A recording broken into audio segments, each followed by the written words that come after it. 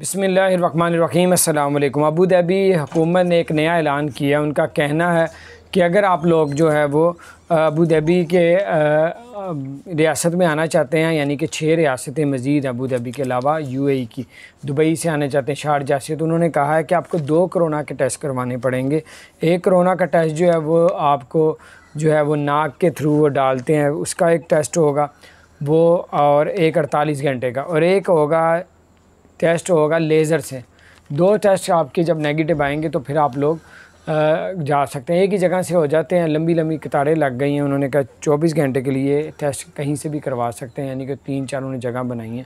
تو بہرحال اب آپ جب ابو دبی جانے لگیں کسی سے انفارمیشن لے لیں کہ کہاں سے یہ دونوں ٹیسٹ ایک ہی جگہ سے ہوتے ہیں۔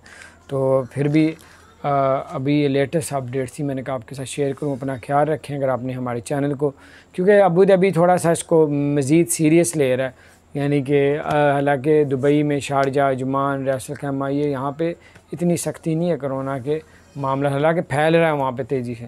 لیکن ابو دھابی جو ہے، بڑا وہ، کیا نام ہے، بڑا احتیاط کر رہا ہے اس معاملے میں۔ تو بہر یہ کچھ اپڈیٹ تھی، میں نے کہا آپ کے ساتھ شیئر کروں۔ جب ابو دھابی جانے لگیں کہ دبئی شارجہ کہیں سے بھی، تو آپ لوگ، اگر وہاں یو اے ای میں موجود ہیں تو آپ لوگ پہلے انفارمیشن لیں، پھر ٹیسٹ کروائیں، پھر آپ لوگ وہاں کے لیے نکلیں۔ اپنا خیال رکھیں، اگر آپ نے ہمارے چینل کو سبسکرائب نہیں کیا، ضرور سبسکرائب کر دیں بیل آئیکن پریس کر دیں تاکہ نئی سی اب